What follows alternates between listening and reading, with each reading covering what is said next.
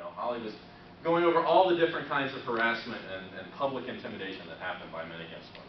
And and it was kind of a, a, watershed moment for me because I, again, I knew this stuff happened, but I didn't think it happened to anybody that I knew. And the fact that this bothered her so much sent a fairly clear message to me that, wow, that maybe this is something I should start thinking about a little bit more. Maybe this is something I should try and get involved in. And so I'm very appreciative that she took the time, and uh, women I've dated since then have also taken the time to tell me about that, which is a good, a good reality check for me, kind of keeping me on track. But um, for, for most men, I think that's a similar story to us. And if we don't hear about it from somebody, and that somebody is almost always women, we don't do anything about it, and we don't stay connected, excuse me, connected to it. And the reason is, is that most men don't recognize that it happens. Even when we see it on the street, even when we see somebody else doing it, we don't make a connection to it. We don't see it as problematic. Uh, even when we notice it, because most of us haven't experienced it. And men that have experienced it haven't experienced it with the power dynamics in play.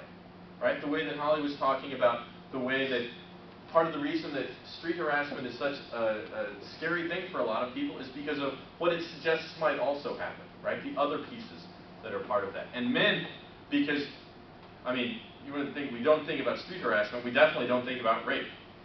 We don't think about sexual assault. And so all of this stuff is kind of off in the distance from us. And, and so that's really what the organization I work for, Men Can Stop Rape, tries to shift, right? For years and years, men that have gotten involved in this work and men that have done activism around this work have learned about what we do from women, right? That, that, that's the, the people who have educated us around this, right? And uh, what I like to say is about 95% of what I learned doing this work, I learned from women. And the other 5% I learned from men who learned it from women. but that needs to change, right? It's not just women's jobs. You have a lot of other things to do than go around educating men about harassment and about assault, right? And so one of the things that Men Can Stop Rape tries to do, one of the big things we try and do is look at how men can engage other men around this issue, how we can connect it to reality for other men. Um, the main way that we do this is by looking at kind of the masculinity dynamics of this work, looking at the masculinity of street harassment, how the power and male privilege relate to that, why men harass, and why other men don't say anything about it when we see that. Yeah, part of it's that we don't recognize it as a problem, and part of it's that we rationalize it away, right?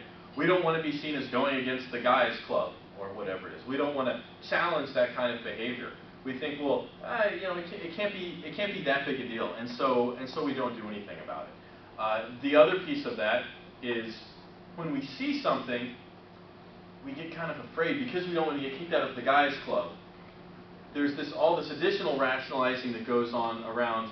Well, you know, if I say something, this person's going to get mad and pull a knife on me and something like that.